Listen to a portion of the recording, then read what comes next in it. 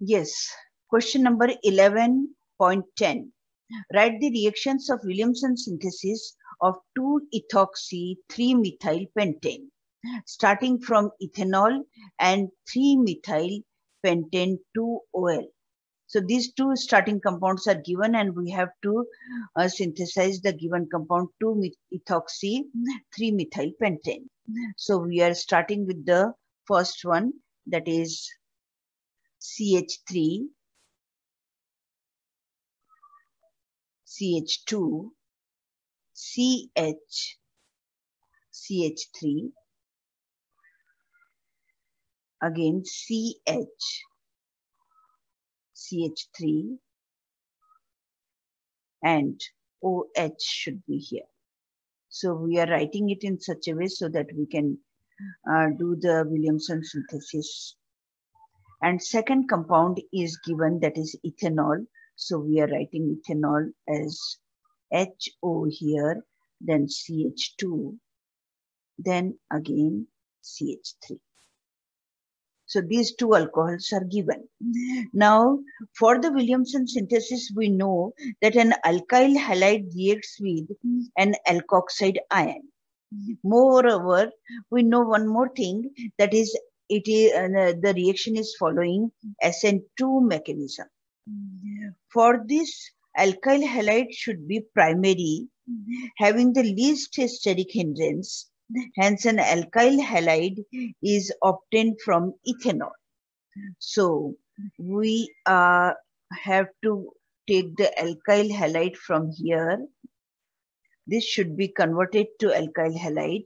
So, by reaction with HBr, we can get the Br then CH2, then CH3. The reason is we don't want steric hindrance and SN2 mechanism should be easy. So next, this should be alkoxide.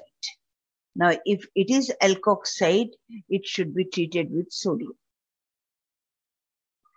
Alcohols can react with sodium and by that we know that uh, alkoxides are formed.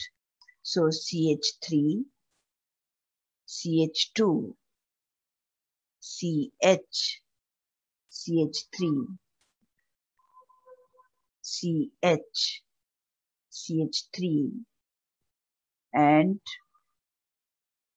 ONA, sodium salt is formed by this sodium.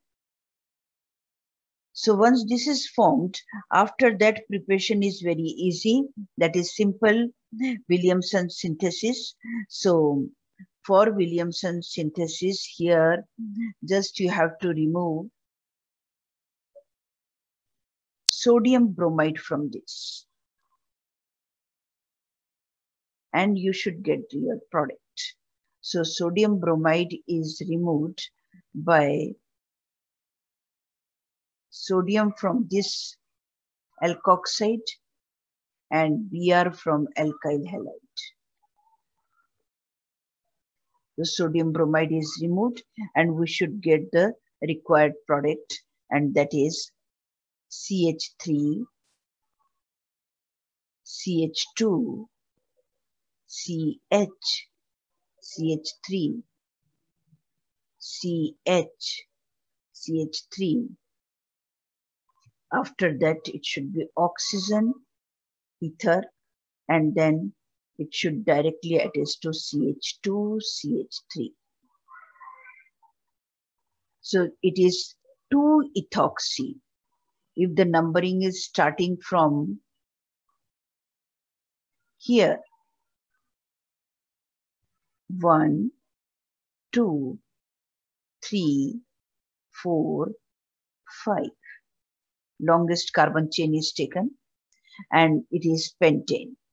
So it is 2-ethoxy, whatever is given, we have this 2-ethoxy at the second carbon atom. This whole group is ethoxy group and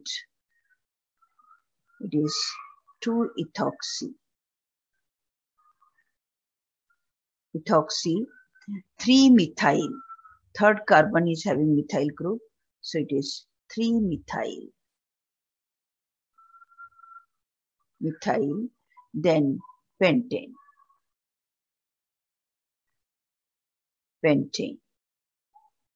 Five carbon atoms total. So this is how we are getting the final compound